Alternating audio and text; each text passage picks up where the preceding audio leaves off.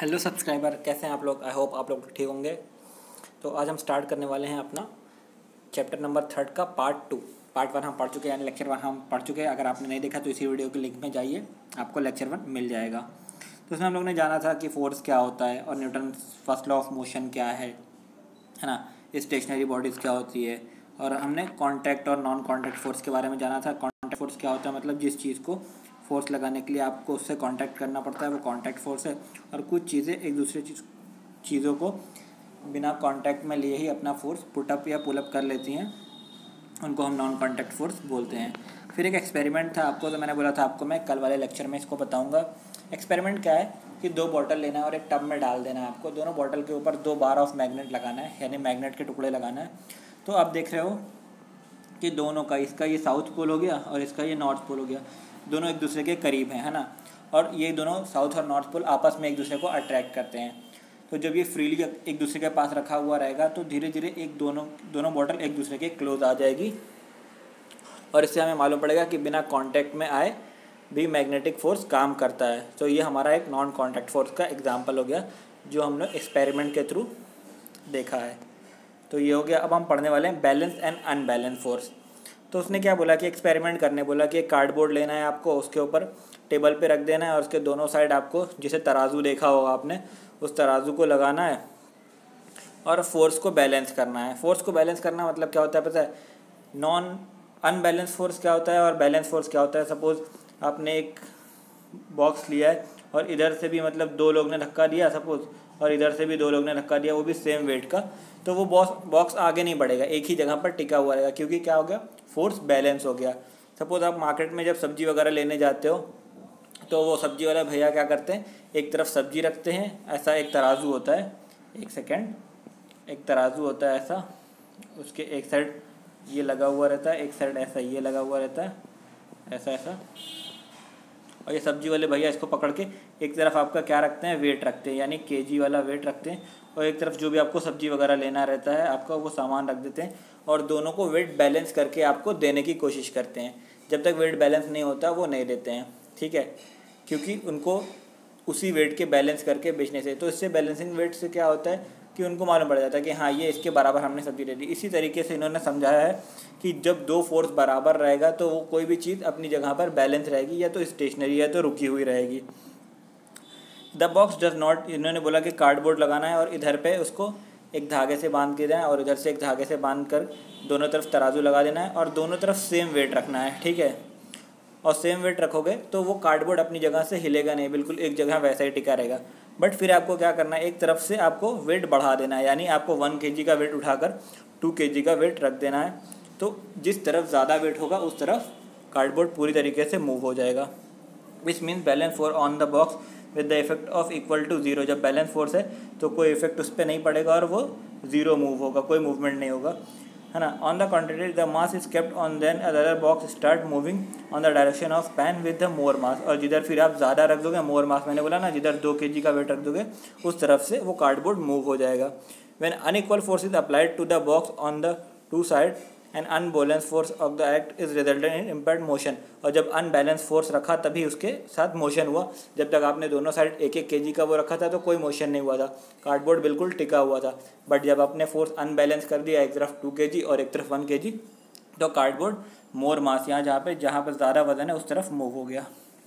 फिर उसके बहुत सारे एग्ज़ाम्पल है बैलेंस और अनबैलेंस फोर्स के। जैसे कि children playing tug of war जैसे आपने देखा होगा, अपने स्पोर्ट्स में टग ऑफ़ वॉर होता है। कि इधर से और उधर से बच्चे रस्सी पकड़ के खींचते रहते हैं। जब तक दोनों तरफ़ से फोर्स सेम लगता है ना तो कोई भी टीम जीतती नहीं। बट जिस जैसा ही कोई एक टीम ज़्यादा फोर्स लगा देती है ना ज़्यादा वज़न लगा देती है तो उस तरफ़ वाली टीम पूरा दूसरी टीम को अपनी तरफ़ खींच लेती है। तो इससे भी एक मालूम पड़ेगा कि जैसे अनबैलेंस हुआ पूरी तरीके से एक टीम हार जाएगी और जिसके जिसने ज़्यादा फोर्स लगाया वो जीत जाएगी और पूरी अपनी तरफ़ खींच लेगी। यानी जिधर मार मो, मोर मास हुआ यानी ज़्यादा वज़न ज़्यादा फोर्स जिसने एक्ट किया वो कम वाले को अपनी तरफ़ खींच लेगा। फिर दूसरा एग्ज़ाम्पल इन्होंने इन्होंने दिया है, क्या है? जिस means initially two forces unbalance होने बताया कि रोप उस तरफ़ से खींच जाएगी। फिर आपने देखा होगा गार्डन में सीसो होता है सीसो है ना? वो ऐसा होता है। यहाँ पर ऐसा रखा हुआ रहता है और इधर बच्चे बैठे रहते हैं, ठीक है? और यहाँ पर भी एक बच्चा बैठा रहता है। जो फोर्स जब तक वो पैर अपना ज़मीन में रखता है है ना? और जो बच्चा हल्का रहता है, वो ऊपर की तरफ़ चला जाता है, जो नीचे रहता है, वो नीचे की तरफ़। फिर वो अपना अगर वेट ज़्यादा लगाता है, अपने आप को पुश करता है तो ये ऊपर की तरफ़ चला जाता है और ये नीचे की तरफ़, यानी अनबैलेंस जब होता है तो आपस में मूव करता है। जब तक बैलेंस रहता है, वो मूव नहीं करता। When the force is applied जैसे उन्होंने बोला है कि when the force is applied by the both the same direction the movement is easy you have experience what to do अगर आप बोल रहे हो कि उन्होंने बोला कि अगर एक ही तरफ़ से दो लोग फोर्स लगाएँगे तो किसी भी चीज़ का मोशन ईजी होएगा। सपोज़ मैंने बोला ना, दो लोग धक्का दे रहे हैं एक बॉक्स को, एक लोग सामने से दे रहे हैं, एक लोग इधर से दे रहे हैं तो अपनी जगह से मूव नहीं होगा। बट दोनों लोग एक ही तरफ़ से आके धक्का देने लगेंगे तो बॉक्स को डबल फोर्स मिलेगा और वो एक तरफ़ मूव हो जाएगा, जिधर उससे कोई फोर्स नहीं मिल रहा है। यानी जिधर सामने से कोई उसको पुश नहीं कर रहा रोकने के लिए। फिर उन्होंने बोले several forces applied on object of the same direction force equal to their addition act on the object जब बोल रहे हो कि अगर सेम डायरेक्शन से कोई फोर्स लगाया गया किसी ऑब्जेक्ट पे तो बल्कि दोनों फोर्स एक्ट हो जाएगा, है ना? सपोज़ जैसे टग ऑफ़ वॉर ही खेल रहे थे आप तो एक लोग एक तरफ़ चार लोग थे और एक तरफ़ चार लोग थे, ठीक है? तो आपस में फोर्स लगा रहे थे और नहीं बढ़ रहा था क्योंकि दोनों लोग सेम फोर्स लगा रहे थे बट क्या करना है? एक तरफ़ से दो लोग को हटा के अपोजिट साइड पे भेज दो, है ना? तो एक तरफ़ छः लोग हो जाएँगे और एक तरफ़ दो लोग और वो पूरी तरीके से उसको खींच लेंगे, क्योंकि और दो फोर्स ऐड हो गया ना इधर से, यानी इनका फोर्स बढ़ गया। तो उसने इन्होंने यही बोला कि जब भी कोई डायरेक्शन में सेम फोर्स लगाया जाएगा सपोज़ किसी एक बड़े से पत्थर को धक्का देना है तो दो बच्चे बोलेंगे, नहीं, मैं उधर से धक्का दे रहा हूँ, तुम इधर से दो। तो पत्थर बिल्कुल भी मूव नहीं करेगा। लेकिन जब चारों बच्चे बोलेंगे, नहीं, हम लोग सब एक ही साइड से धक्का देते हैं और उसको उधर गिरा देंगे। तो वो, जैसा ऐसा है हम आपको समझा दूँ, एक बड़ा पत्थर है दो बच्चे इधर पे हैं है ना? और दो बच्चे इधर पे ये। ये दोनों लोग आपस में धक्का देंगे और बीच में ये फोर्स नहीं हिलेगा अपनी जगह पे रहेगा। लेकिन बाद में क्या होगा? अगर दोनों बच्चों को यहाँ से हटा दिया जाए ठीक है? और सीधा सीधा इधर दो बच्चे को पूरा इधर रख दिया जाए। सपोज़ ऐसा करना है आपको।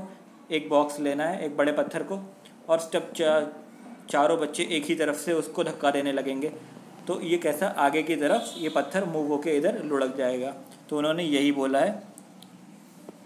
If the two force are applied on the object is the direction of opposite to each other force is equal to their difference act on the object और जब फोर्स दोनों तरफ़ से अपोजिट लगाया जाएगा मतलब अपोजिट से तो उधर पे कोई मूव नहीं होगा जब तक कि फोर्स का डिफरेंस क्रिएट नहीं होगा, जब तक एक तरफ़ ज़्यादा और कम फोर्स क्रिएट ना हो।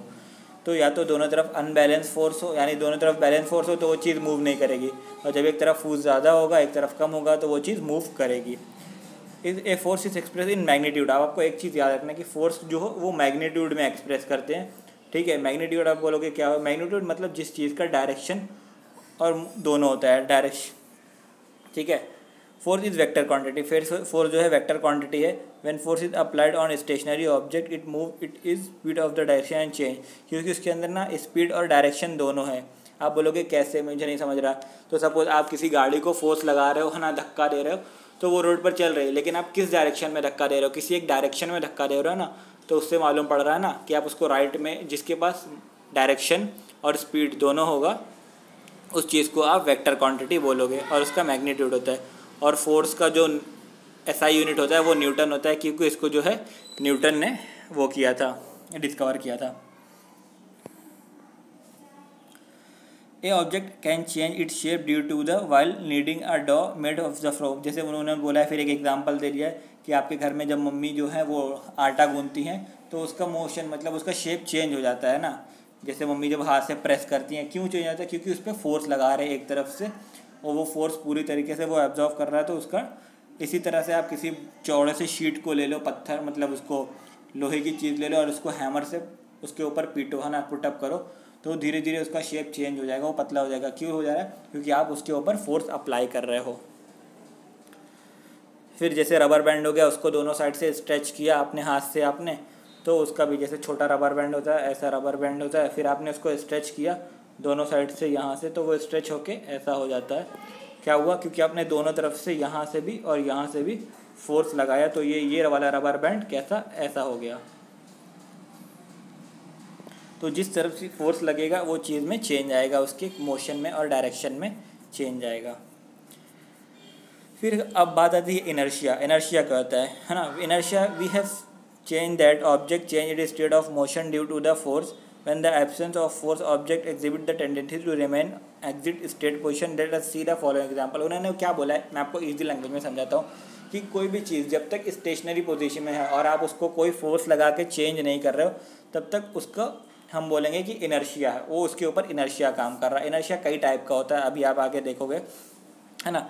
जब किसी कोई चीज़ रखी हुई चीज़ को आप फोर्स लगा के चेंज कर देते हो तो उसको बोलेंगे कि वो इनर्शिया उसके ऊपर काम किया है, यानी वो इनर्शिया, वो चीज़ इनर्शिया पे आ गई। Like we have seen that object change in the state of motion due to force जब किसी फोर्स लगने की वजह से कोई ऑब्जेक्ट अपना मोशन चेंज कर दे, है ना तो उसको बोलेंगे inertia in the absence of force object exhibit a tendency of remain state of motion और जब तक उस पर कोई फोर्स नहीं लगाया गया, वो अपने इधर से स्टेटनरी स्टेशनरी पोजीशन पे है, यानी रुके हुए पोजीशन पे।